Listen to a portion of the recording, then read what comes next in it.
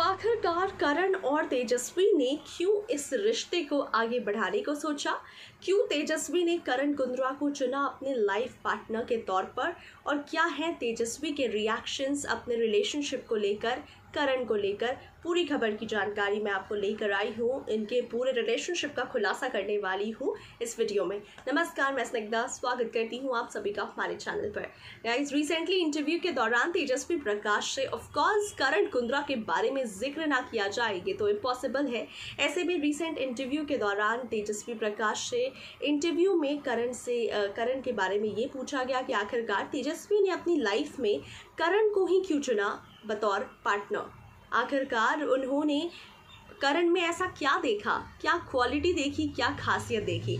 जिस पर तेजस्वी प्रकाश ने साफ़ तौर पर कह दिया कि बेसिकली दो पार्टनर्स जब रिलेशनशिप में होते हैं तो उनके बीच एक कम्युनिकेशन गैप हो जाता है।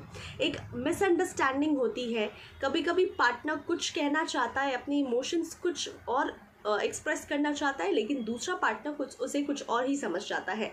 तो ये कम्युनिकेशन गैप ये मिसअंडरस्टैंडिंग कभी कभी रिलेशनशिप को काफ़ी ख़त्म कर दे, पे पड़ा होता है। लेकिन ऐसे में मेरे और करण में ऐसा बिल्कुल नहीं है। करण वैसे इंसान हैं जो कि मैं अगर ना भी कहूँ तो वो ऑटोमेटिकली समझ जाते हैं।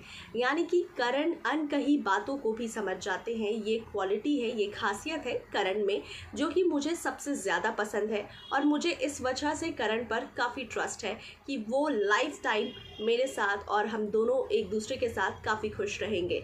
तो तेजस्वी प्रकाश को आँख बंद करके भी करण कुंद्रा पर पूरा विश्वास है और दोनों एक दूसरे में के साथ काफ़ी खुश हैं meant for each the couple है।